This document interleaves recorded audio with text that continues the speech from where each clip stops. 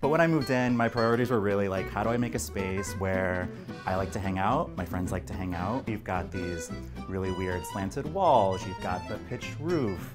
And so figuring out how to bring everything that I wanted to be in here was pretty challenging at first because there's a lot of weird angles and you know empty space. Sort of like figuring out where to have a TV, where to have a couch.